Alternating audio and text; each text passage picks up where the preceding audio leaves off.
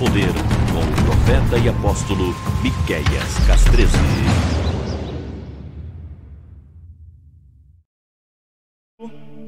Preste muita atenção. Jacó está indo para Padã Arã. E Rívica, Rebeca, mandou Jacó longe por causa do irmão, por causa da bênção da primogenitura que nós vimos ontem. E nós temos que lutar por essa bênção. Nós temos que lutar como Jacó e matar o Esaú diário dentro de nós. E matar o Esaú diário dentro de nós é escolher a primogenitura. E escolher a primogenitura é escolher a primogenitura é você viver diariamente escolhendo o propósito divino. Já usei, pode trocar a imagem, tá? Então preste atenção, a imagem de pregação. Então preste atenção no negócio. O quanto você luta pela, pela primogenitura do propósito de Deus. Amadurecer, preste atenção nisso. Amadurecer é assumir responsabilidade, certo? Sim ou não? Ah, eu sou maduro, é porque eu assumi a responsabilidade e estou trabalhando em cima da responsabilidade que Deus me deu. Ótimo. Mas responsabilidade no mundo espiritual é viver o propósito independente da sua dor, independente de quanto você está bem ou não. Isso é ética. A ética espiritual, olha só, querido. Deixa eu dizer uma coisa aqui para você entender. Às vezes a gente fala, você precisa ter ética espiritual, você precisa ter moralidade espiritual. A moral é diferente da ética, de uma forma simples. Por exemplo, se o teu marido quiser aqui casar com duas, três mulheres a mais, é moral isso ou imoral? Moral, é imoral. Pela lei, pela lei do Brasil é imoral e pela lei é um crime. Você não pode ser bígamo. Mas se lá no Oriente, em países onde a bigamia ela é autorizada por lei, é moral ou imoral? É moral. Então a moral está relacionada àquilo que pode e não pode.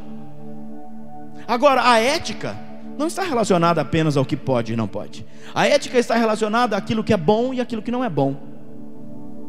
Isso é ética espiritual. Então a ética espiritual me faz entender que é bom eu viver o plano e o propósito inicial de Deus comigo. Então eu vou viver, porque eu sou ético.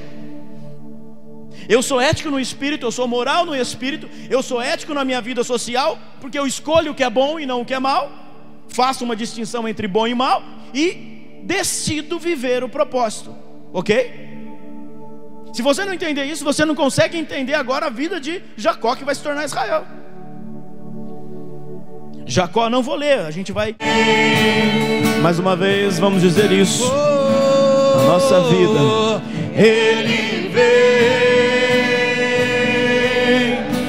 saltando sobre os montes, ele vem. Para encerrar mais uma vez, ele vem. saltando sobre os montes, ele vem para me encontrar.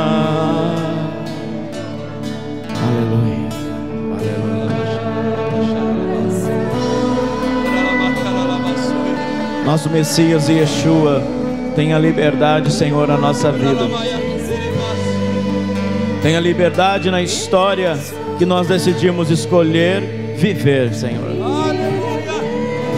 Que esta vida que ouviu tudo isso, escolha a melhor parte, que é caminhar escolhendo o Senhor sobre todas as coisas. Aplauda o Rei por isso.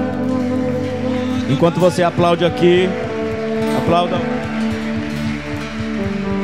Os irmãos de casa vão ficando aí. Tenha uma boa semana, Shavuotov para você. Vai subir um VT de como ofertar, dizimar. E nós nos encontramos terça-feira na Escola Inene. Shalom, Shavuotov para vocês aí de casa.